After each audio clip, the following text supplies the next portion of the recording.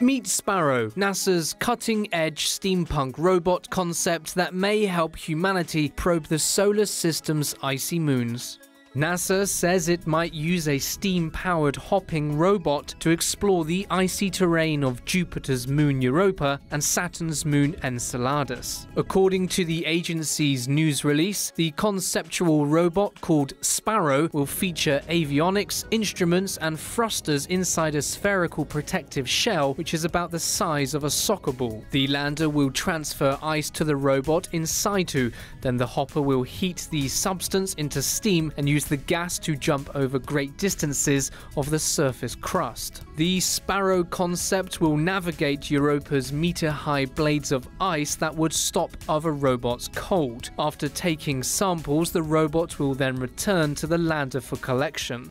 While the steam powered bot seems an unconventional choice, NASA says the Sparrow has total terrain agnosticism and low gravity will make jumping easier.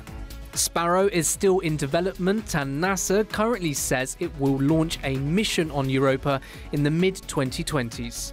Why the hurry to get to a bunch of barren moons? Well, because they are really weird, and there might be alien life on those dirty chunks of ice. Scientists may have finally solved the mystery of the tiger stripes on Saturn's moon Enceladus.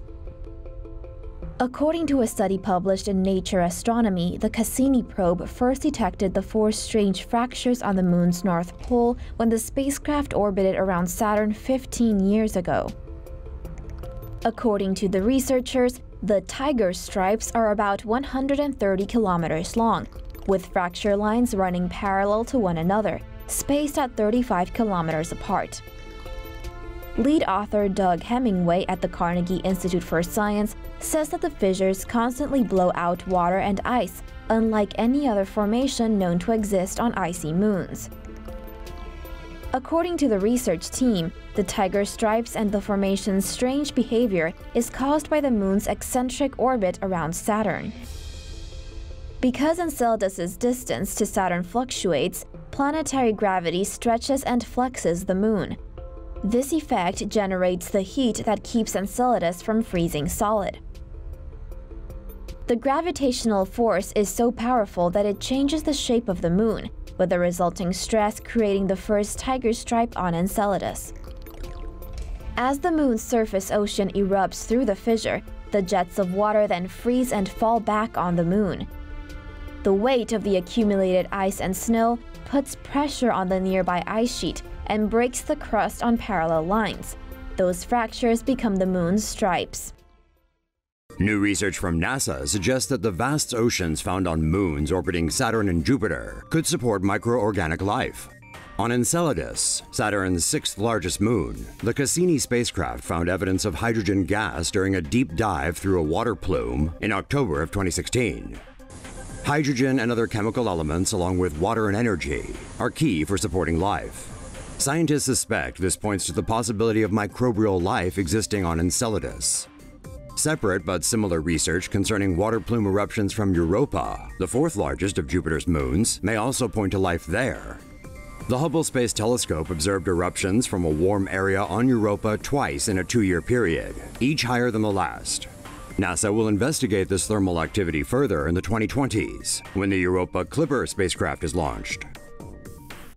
NASA has announced plans to launch the Europa Clipper space mission to examine Jupiter's icy moon Europa by 2025.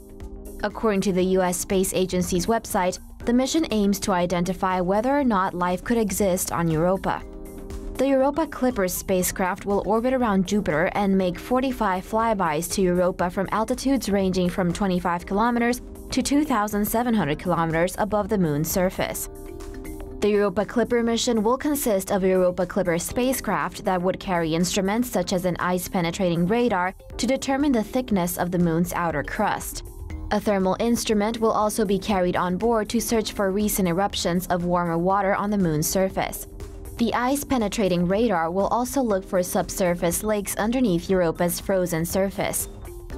In 2012, NASA's Hubble Space Telescope detected water vapor above Europa's south polar region, providing strong evidence that there could be water plumes and potentially a subsurface ocean on Europa.